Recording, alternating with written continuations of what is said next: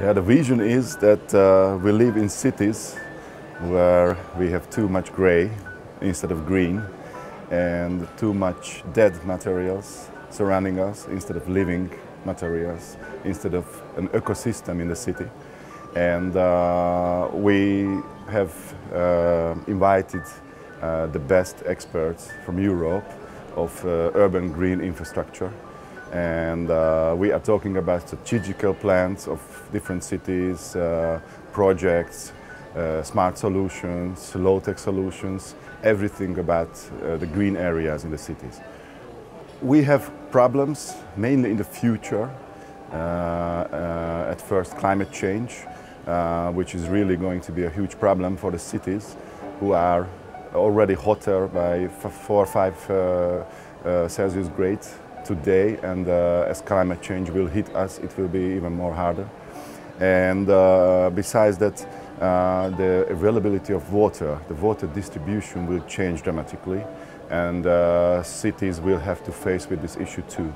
Uh, water floodings, but also water floods, but also uh, the, the, scarcity of, of, water for, for green infrastructure, for people.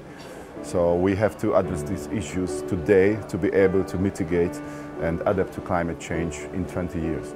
There are a lot of stakeholders in this uh, story.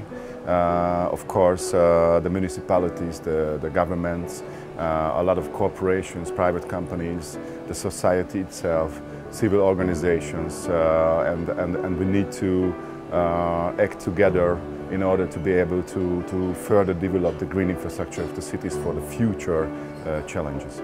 The next step, well, uh, we have to dramatically increase the amount of green in the cities, uh, especially because of the heat and the water issues, but also because of recreational and other economical, ecological and social aspects. And uh, we need to have, of course, uh, financial resources for that. Uh, but to be able to, to get there, we have to raise awareness we have to create uh, a higher demand in the society for the green, uh, a higher awareness of these issues, of these problems which will face us soon.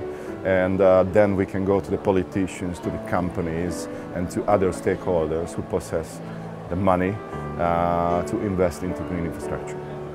Obviously, I'm a green guy, I'm a horticulturist and I, I can imagine dramatical changes. I can imagine green roofs everywhere, on each roof, green walls, green facades uh, on all surfaces, uh, much more parks, much more rain gardens, and everything which, which delivers ecosystem. And I can imagine that the city itself will act as one ecosystem uh, together with the people and uh, of course then we will have much less uh, infrastructure, grey infrastructure for cars uh, and for all, the, all those things which are normal nowadays.